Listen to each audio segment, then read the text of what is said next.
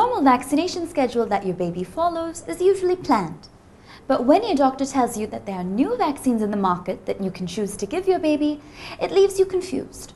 Instead of getting confused and worried about what's best for your child, watch this video to find out more and to make the right choice. There are a number of vaccines that your baby must take, but are some that are optional. Here's a comprehensive list of some of the optional vaccines for your baby.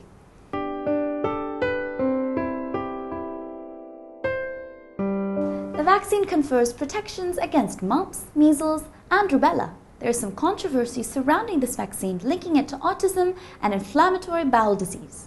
However, a study by the World Health Organization has concluded that there is no evidence linking the vaccine to these conditions. The child may have slight fever and rash 7 to 10 days after the injection.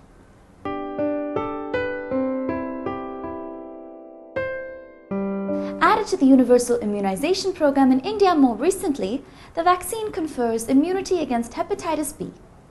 Hepatitis is a viral infection affecting the liver, leading to jaundice and other complications in the liver. At birth, if the mother is positive for hepatitis B, the baby needs to be vaccinated within 12 hours of birth.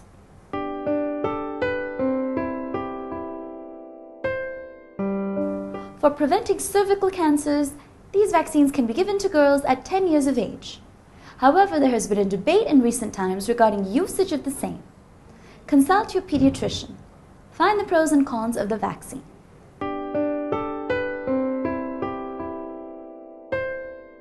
For preventing meningitis, infection in the brain caused due to Haemophilus B influenza virus.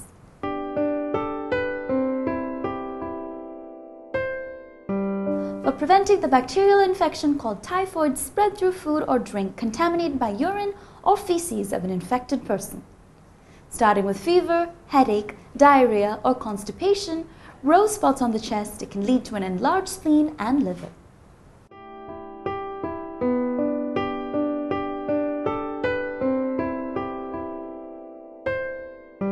For preventing pneumococcal meningitis affecting the brain of children or pneumonia. Since the cost of that vaccine is quite high, a single dose costs as much as 4,000 rupees, most parents do not opt for this vaccine.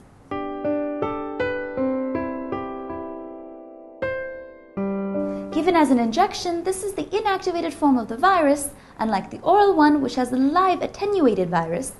It confers nasal and throat immunity to the virus.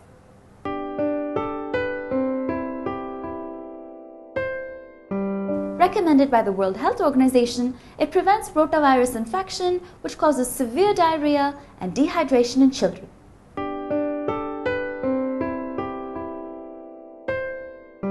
prevents flu or infection of the respiratory system.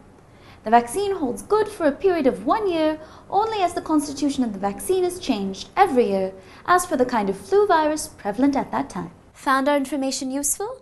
If you find the video helped you, please like it. Tell us what you think about our videos. Please leave a comment. To watch our other videos, click here. For more on your health, log on to health.india.com.